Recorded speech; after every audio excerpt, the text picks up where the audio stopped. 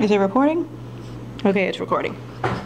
This is like the fifth time I'm recording this because the first time I was blurry, the second time it just felt too weird, and the third time and fourth time, um, well, the fourth, the third time, I realized I wasn't really recording. I thought I was, but I hadn't actually checked. Sometimes I'm stupid. But anyway, I was trying to get to sleep one night and I was having this weird moment of like mixed memories and trying to remember stuff when all of a sudden I remembered something that was really weird. Um, my sister and I, when we were younger, we used to fight a lot. Well, not a whole lot because, you know, my mom wasn't into all that nonsense, so she used to put it into that real quick.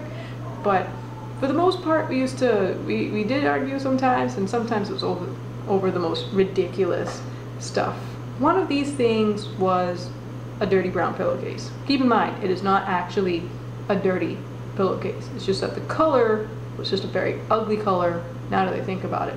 It was this weird wannabe chocolate brown. It wasn't even pretty. Like, normally you would think that little girls fight over things that like really attractive, like pretty colors, frills, lace, ruffles, Disney princesses, chocolate, whatever, something interesting. But no, me and my sister would fight over this Doodle Brown pillowcase for the longest. And it wasn't because, you know, it was the most gorgeous pillowcase made out of silk or satin fabric. It just felt real nice against the skin. Mm -mm.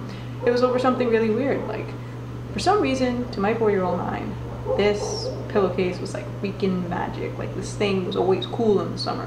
Like, you know how whenever you flip your pillow to the cool side, just to kind of get a little bit of relief from all the heat all around you. Both sides were the cool side of this pillow. Don't worry about it. We had this other pillow that I remember specifically that was made out of this kind of linty kind of material. You lay on that, you can sweat like forever.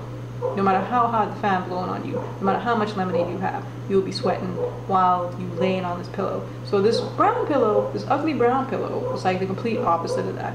It was like amazing to us that it used to be like so comfortable no matter what the temperature is. Oh, it's cold? Oh, it's just comfortably soft and warm against your face. Oh, it's hot? It's nice and cool and silky against your skin. Wonderful, lovely. And there were these little nubbin things.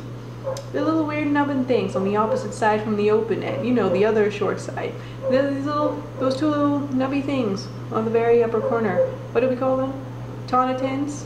Don't ask me how to spell it. I don't know how. And I don't know where the word came from. But I know for years and years and years, that was a part of my vocabulary because all it meant was little squishy corners on the pillowcase. If your pillowcase didn't have squishy corners, shame on you. I didn't want to use that pillow. Didn't want to use it. So whenever my, me and my sister would, one of us get this pillowcase, the other one would fight to get this pillowcase off of the pillow or just take the whole pillow entirely, or hide the pillow until the other person was asleep and then use this pillow. It was ridiculous that we would go like five rounds uh, for a pillowcase. And I'm not quite sure where the story is going, but it's really weird and it's really funny, and I thought you guys would like the story, and I hope my big sister doesn't mind me sharing. I wonder if she even remembers this. This will probably be a good jog for her memory. So, uh, yeah. So yeah, this week's video was a little bit different than all the rest of my videos where I was just talking about random stuff I remembered from when I was little. I might do a couple more of these, I might not, depends on if you guys are actually interested in it. You know, for the two people who like to comment and like my videos, awesome. Thanks for you guys. You're my best friends forever. And for the people who just kind of linger in the background, that's cool too.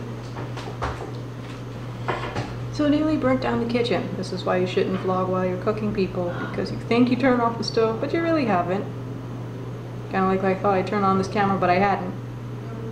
I should probably stop doing that. But anyway, um, if you want to see other videos like this, or have any other videos you want to see me shoot, I was thinking about doing a Lolita wardrobe shoot, but, you know, up to you guys. You know, thumbs up if you like the video. Uh, don't thumbs down it. Don't hurt my feelings. Okay, bye.